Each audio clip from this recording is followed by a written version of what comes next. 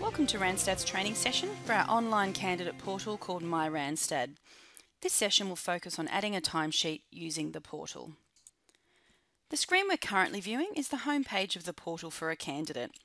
The portal has been designed for you to be able to complete activities like entering a timesheet and viewing your bookings and payslips. If you're not set up on My Randstad, please speak to your Randstad consultant directly. Once set up, you'll receive an email that looks like this. This will require you to click on the Get Started Now option to set up your username and password to the portal.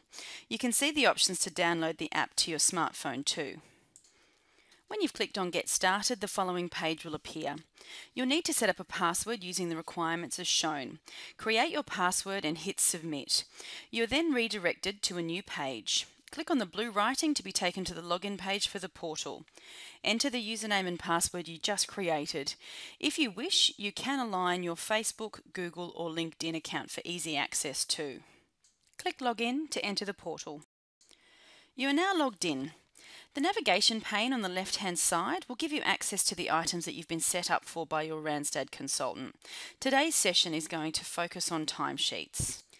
In this section there are three main areas, to do, submitted and approved. I'm going to create a timesheet using the Create Timesheet button in the top right hand corner of the page. The system is going to ask you for the relevant booking, and so choose the right booking from the list. It will also ask you to let it know what time frame you are entering the timesheet from. You are now on the timesheet details page for the chosen booking and time period. By scrolling down, you'll see the sections you're able to complete. You can record a cost centre or a purchase order and you can click the click to edit sections under each of these headings. So let's enter our actual hours. Go ahead and add the start and finish times for your first day. Note that this is in 24 hour clock. You'll also need to add in breaks and these are in minutes. If you wish to use the same set of hours for the remaining days of the week, you can click on Copy. This will then ask you to tick the relevant days from your week that it relates to, and then it will copy these hours down to those chosen days for you. When you're happy with the hours you've entered, click on Save Changes.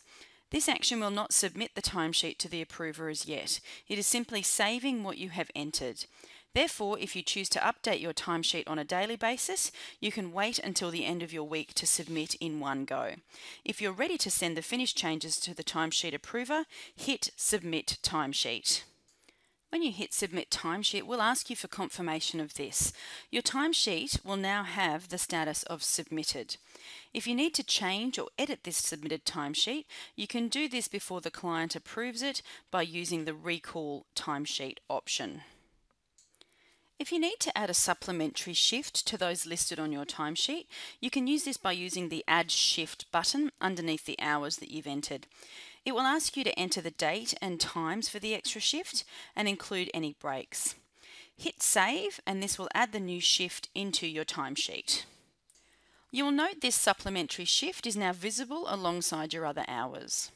If you scroll down, you'll note that you're able to actually add employee comments. This will be sent through to the approver and through to Randstad's payroll division. Your approver comments might be complete if your approver rejects your timesheet and wants you to provide you with some of the reasons why. You're also able to add attachments to your timesheets. Click on the Add Attachment button. Choose the attachment you need to associate to the timesheet. This is useful for items like receipts and doctor's certificates. You're also able to access attachments at the very top of the page. You'll notice that you've got a paperclip icon here. If you click on that, it's actually going to open out the same attachments section for you. If your timesheet is rejected by the client, you will receive a timesheet from the system letting you know the timesheet has been rejected. What you'll need to do is log back into the system and look at the to-do section. Look for a timesheet that has red next to it. This indicates that it's rejected. Click on the timesheet number and scroll down and you should see some notes from the client letting you know what is incorrect or wrong. I can see that the entered timesheet has the incorrect finish time and I've forgotten my break. So I'll need to edit these and then I can resubmit the timesheet back through to the contact again. Similarly, when your timesheet is approved, an email is also sent to you as the candidate um, to, to let you know about this approval. This is visible and in your portal also under the approved section.